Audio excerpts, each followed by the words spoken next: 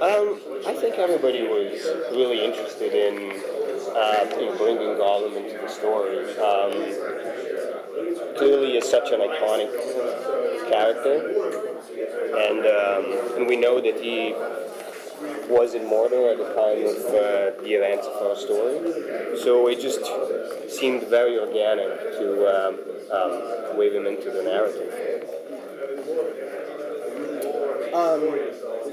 I really like how in the footage we've seen so far, when we've seen Mordor, it, it looks it looks beautiful almost. It's it's like lush and green, and, and it looks it looks kind of like a nice place to live. Um, do you want to?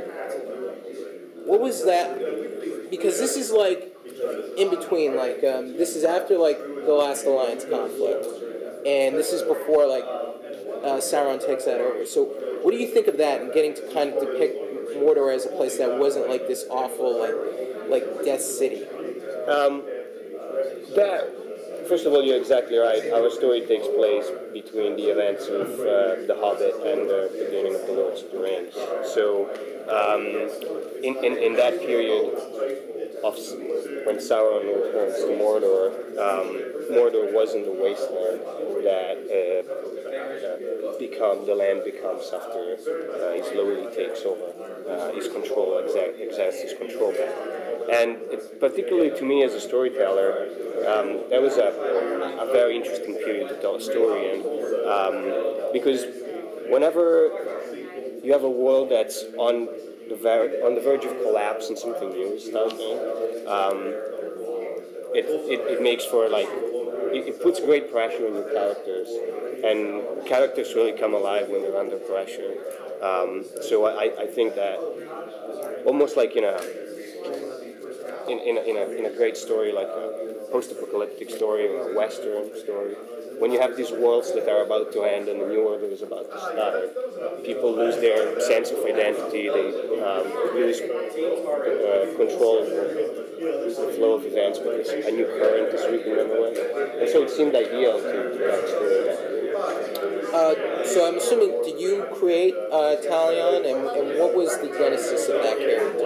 Talion is an original character that we've created uh, based on a lot of the um, character traits and, um, and and the style of these personalities that we've uh, uh, found in, in books uh, set in Middle Hobbit, and the um, to us is a little bit of like the tragic figure in, in Boromir, and in a way is the what if um, Boromir had taken Durin, what if um, he had power um, in him that would allow him to um, carry on his goals, start from a desire to fight for justice, and then what would happen uh, with all that power. And clearly, Talion doesn't have a, a ring, but um, he, he's, he, he has great power. Um, since Shadow Mordor is going to be taking place between The Hobbit and the Lord of the Rings trilogy, um, is the game going to pretty much just stop at the Lord of the Rings trilogy, or is it going to be planned for multiple sequels? Um, I don't think we have. I don't think we're discussing how the story is going to end and potentially going to evolve. So I, I don't really have a, an answer for you, but um, there is certainly decades um, of storytelling that can happen there, and this particular story doesn't span the entirety of the time that um, that we, we could, if we wanted, uh, fill with stories. Chris, can can you give us any insight on the Wraith who resurrects Talion in his identity? Is this like one of the ghosts that might have been in the past of the dead um, in the original, in the main trilogy? I think I can say who the Wraith is, right? After. Um, so the um, the Wraith is actually uh, Celebrimbor. Celebrimbor is um, one of the greatest elves of the Second Age. He was uh, a great uh, smithy, and he uh, is famous in the in the Middle Earth lore for working uh, with Sauron to create uh, the of Power. So he is the he is the spirit that inhabits um. In terms of the, the overall arc of the story, is it does it branch um, does it branch a lot, or is it a relatively narrative experience, uh, like a single narrative experience? The story um, is a relatively uh, linear narrative experience, but um, it branches in that it leaves uh, the player options to uh, navigate the story structure uh, with freedom. Um, instead of being a, a, series of tight plot points that must be followed in a rigorous order, it follows the more open world um, mentality of storytelling where you can encounter different episodes and different characters. It's fundamentally very character driven as opposed to plot driven and, um, and, and the player has the freedom to, um, almost like an editor, to assemble the various strands of the story together. And if you've played other games I've worked on, you, you know um, how this storytelling. One of the only times I've cried in a game is because of you, so thank you for that. I appreciate it. well, I hope you'll uh, you'll enjoy the, the story that we've told. It's uh, it's an equally powerful story, and of course, it's. Uh, um, it follows that same style of storytelling. Hopefully, not the same tear drenching ending. Don't go in the barn. I can't talk about it. No barns. No barns in this. There's, there's no barns. Okay, good. I'll tell you that. Um, so what sort of precautions did you kind of take to, when you were creating Talion, given that he's a brand new character, if I'm correct, and you know doesn't stem from anyone in particular, or of sort of the stuff? He he's inspired by uh, a melange of different characters, but he he's his own person.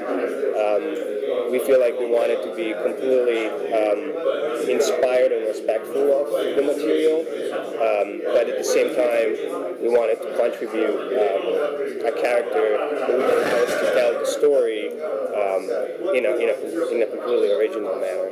And, um, and so we found, uh, in a way, we found the ideal way to approach this because really we have two characters. We have uh, a character that's incredibly deeply rooted into the lore of Middle Earth, which is Celebrimbor. And, and it's not an original character. It's a character we've taken, we've studied, and we've uh, then written into the narrative. And then we have Talion, who's a, a, creation based on several of the hero archetypes that uh, the flawed hero archetypes that Tolkien uh, wrote about. And we've combined these two characters together so that in a way we're carrying on the, the, the inspiration from Lord of the Rings lore and then in the other with the other hand we, we're trying to explore new material. Uh, Christian, I'm very curious. In, in your role as the writer, were you on this project like on day one, or had any groundwork uh, been uh, laid down before, like in terms of story or, or, any of the ideas or characters, or did you all come up with that on your own? For, for the story, we were pretty much uh, from on from ground zero, um, and you have to because you you can never just you can never just tack on a story to a game and expect it to have the resonance like um, that two days old is expect from a story in a game. Those, those days are gone, and I'm very happy that that's happened. Um, clearly, a, a, video game is uh, involves a huge amount of engineering, technology, development, art, animation, and some of those tasks uh, were already ongoing before you joined the team. But um, but I'm very happy to say that the story and the game design are really closely interwoven. So um, the story and the, and the game just work together and contribute to like a holistic idea.